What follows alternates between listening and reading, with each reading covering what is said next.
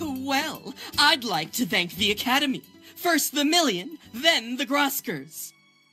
By the way, where am I? Back on the Thinkers, it really seemed like Silver was getting better. But now, ugh, it's just a royal pain in my- Jeez, I really lost it again. I might be in for it tonight. But hey, it was worth it to see Silver get his face stuck in the pie!